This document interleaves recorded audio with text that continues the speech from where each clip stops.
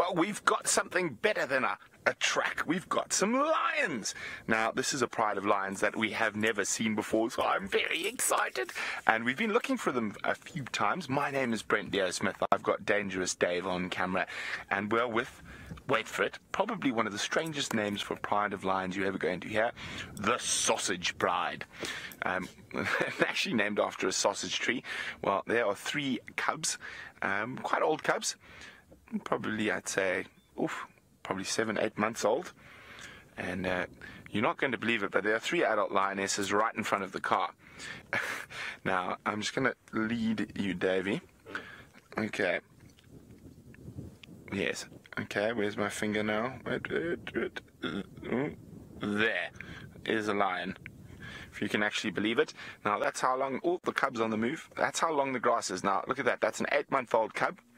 That is as soon as it lies down, it's going to disappear. We're very lucky to have spotted them on top of a, a little termite mound because they live in this really long grass area and they like eating warthogs, uh, which obviously can't see them coming in this grass. Remember, hashtag Safari Live if you've got any questions for us.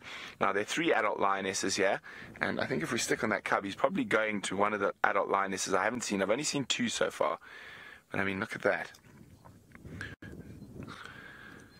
Yes, it's one of the reasons you probably don't want to be bushwalking through grass this length. You won't be able to see who's out there.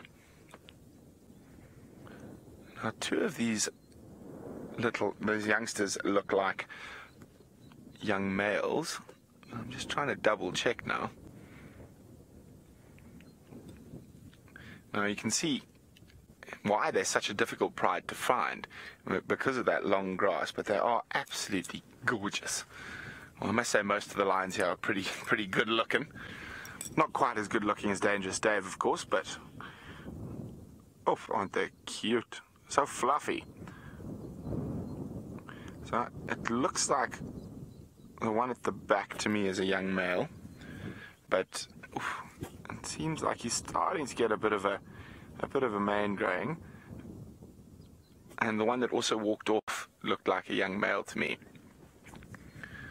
So this is a new pride of lions for us and for you as well. This is the the first time we're seeing them.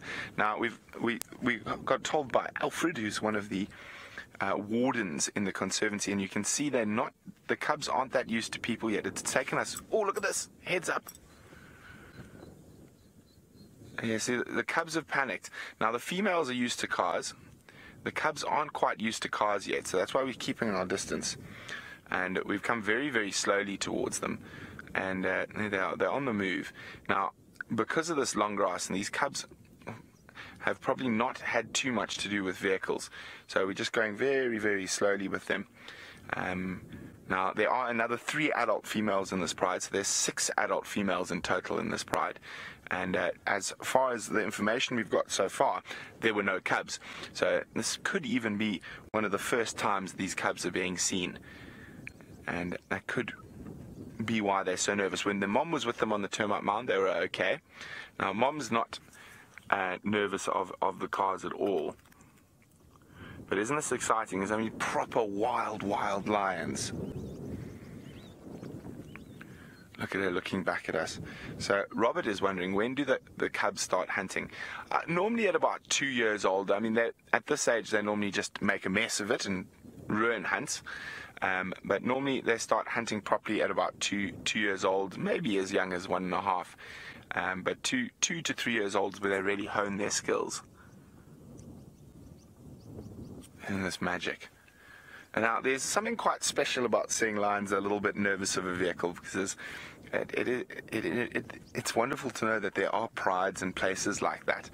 And uh, of course, we're going to be very, very, very, very gentle with them and, and very cautious about how we drive around them, and especially so in this incredibly long grass.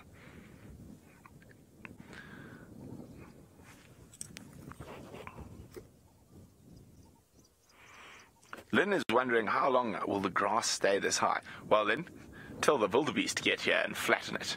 So wildebeest uh, will actually this you're not going to recognize this large grassy plain in a few in a few short months. It's going to be very short grass. Now they, they look reasonably hungry. So I think we are going to stick with them. As I said, we're going to keep our distance. There we go. You can see there's mom coming up the term. Oh, she's gorgeous. She's actually very hungry now that I can see her belly. Um, so she could be looking. Oh, look at her looking through the legs. Look, look, look, look, look. oh, wonderful. Uh, just keeping an eye on us through his mom's legs. Obviously, he feels much safer there. That is just magic. So they are quite hungry, so I think we are going to stick with them while they're, moving, but we are going to keep our distance a little bit. So while we follow them, uh, let's jump across back to Djuma. Well, yes, sorry about that, Brent. I called you James. I'm very sorry. I was too busy distracted with our tracks that we had. Now, it seems that the